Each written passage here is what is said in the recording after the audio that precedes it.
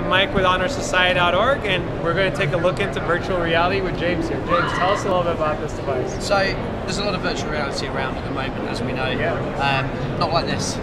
So this is all in one. So you'll see there if I hold it up and just let you zoom in a little bit, you can see that there is actually content in there, and there's no mobile phone. So you don't need a cell phone to operate this. Um, everything is all contained. So inside here we have a battery, we have um, a PCB with the, the CPU, all the various connections, mini HDMI, USB, micro SD on the bottom.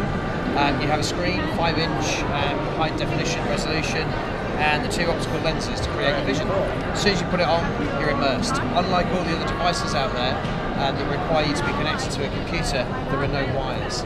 So when you're playing on a game, you can just rotate yourself around and immerse yourself into what is true virtual reality. Great, so can You we jump into a game right Yeah, now? of course you can. What are we going to see right now? You are going to see, I have no idea, you are going to go to China.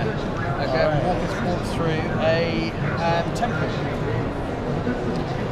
So I'll give you the game control. This only um, operates to move walk, so the rest of it you'll use with your hand. So you're looking for a row of um, archers. All right, You might yeah. need to turn around. Um, right now this Just that, just that one. Am I working? Yeah. That one. Okay. So move your head. You have to probably turn yourself around right away, yeah?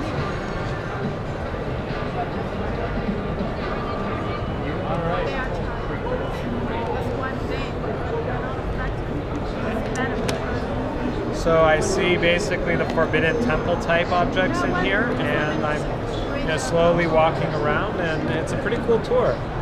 Yeah, and it will pop up with um, information on which stage of the, um, uh, the the temple you're at, what the purpose of the temple was, what the gates were. So it becomes quite informative, quite educational. Um, so not just something that's about immersing yourself in gaming. Um, there's a lot more you can do. So you can watch 3D movies, you can watch 360 degree movies. You can obviously immerse yourself in the games as well. So um, if you want a proper interactive game, give you a go on this. Where's my second controller? Number one. Number one.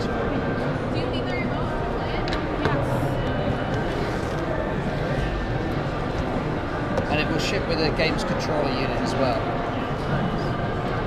So, what can you tell us the name and maybe the website where our uh, followers can go check it out? You certainly can, I certainly can. Uh, it is um, AuraVisor. And it's auravisor.com. AuraVisor.com? Yeah. All right, well, thanks a lot, James. We really appreciate your time. Cheers. Thank you. Thank you.